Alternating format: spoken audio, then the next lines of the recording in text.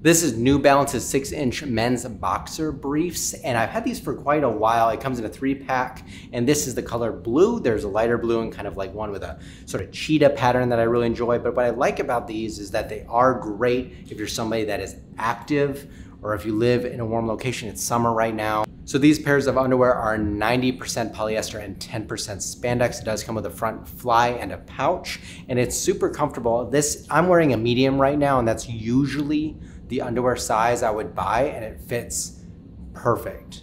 In fact, maybe too perfect. So I really got these pairs of underwear for exercise because they're moisture wicking, you don't get too much moisture in there, and they also don't ride up. So if you're somebody that likes running or even biking, you can have that issue sometimes with underwear. If you wear different types of boxers, I haven't had any of those troubles with these pairs of underwear, which is really a benefit.